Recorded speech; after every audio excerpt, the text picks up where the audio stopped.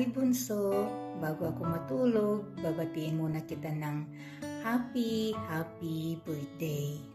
I wish you all the best. Sana matagpuan mo na si Mr. Right at Mr. Forever. Enjoy your day. Happy, happy birthday again.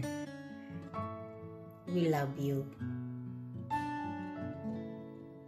Birthday Ate Raquel. May the Lord fulfill the desire of your heart. Um, ikaw yung taong nakilala ko na kahit ang daming pinagdaraanan, ang daming iniisip, ikaw yung taong malalapitan, handang tumulong kahit kanino. Ate, nagpapasalamat ako dahil um, dumating ka, nakilala kita, na magmula nung nakarating ako dito, inantabayanan mo ako hanggang sa ako'y maging okay. Napakabuti mong tao. Um, salamat dahil ikaw yung taong kahit hindi laging nakaka-chat, nakakausap, pero pag um, nilapitan mo, hindi ipagkakait ang oras para um, magbigay advice at matulungan ang isang tao. Ate Raquel, um, wish ko na lahat ng desire ng iyong puso ay uh, magran ito, lalong lalo na yung pinaka kahilingan mo, um, alam mo na yun. At salamat Ate Raquel dahil hindi ka nagsasawang um, tumulong kahit kanino. At um, ingat ka po lagi. Uh, God bless, lalong lalo na ate sa iyong trabaho na alam ko napakahirap pero hindi ka sumusuko dito.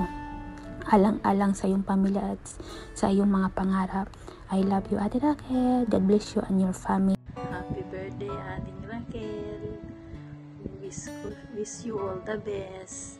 At sana mahanap mo na yung soulmate mo. Ang pinaka-wish ko sa'yo ay makapag-asawa ka na ngayong taon para magkaroon ka na ng baby. O, di ba Ang saya-saya. Hi Raquel, happy birthday. Eh, sana maging masaya ka sa kaarawan mo. At eh, tumawa ka naman. Smile para man para naman gumanda at maging bago eh wag panay simangot lalo na wag makulit.